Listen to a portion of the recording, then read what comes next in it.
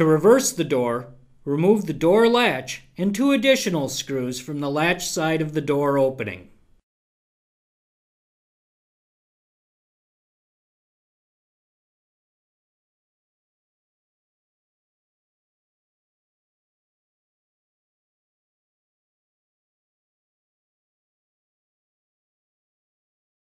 Remove the door hinge from the opposite side of the opening and turn the door over and attach the hinge on the side that previously had the latch.